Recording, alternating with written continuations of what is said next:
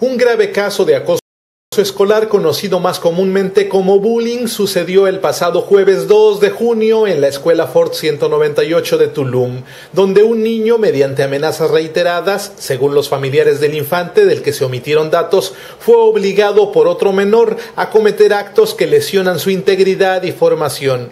Lo grave del caso es que esa situación era ya conocida por maestros e incluso por el director de la escuela, Manuel Villarreal Novelo, quienes habían optado por el silencio y la minimización de los hechos muy graves que ahora son ya evaluados por las autoridades escolares, según el representante de la Secretaría de Educación en Tulum.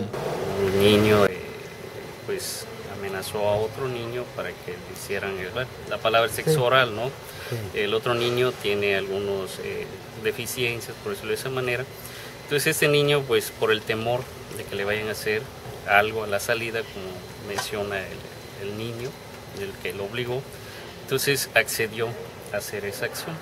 Entonces, inmediatamente que nos reportaron a nosotros, junto con el supervisor Mario, fuimos, eh, platicamos con los papás, citamos al director, citamos al maestro y de ahí se tomó la determinación de canalizar a, a, todos, ¿no? a los papás y a los niños al DIF.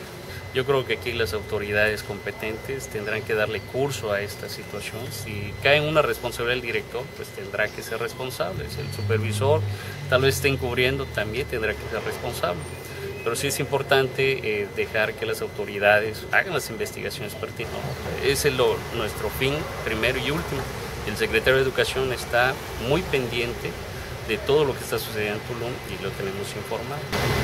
La familia del niño abusado ha manifestado por su parte desconfianza sobre las posibles sanciones que pueda la Secretaría de Educación establecer para el maestro y el director de la escuela, así como para el niño abusador, por lo que al mismo tiempo que ha levantado su queja en el sector educativo, también ha levantado denuncias tanto en la Comisión de Derechos Humanos de Quintana Roo como en la agencia del Ministerio Público del Fuero Común. Según la madre, es una actitud que busca ser congruente con la necesidad de acabar con los abusos entre escolares que son tolerados por los maestros, pues a estos últimos les correspondería la formación de buenos ciudadanos.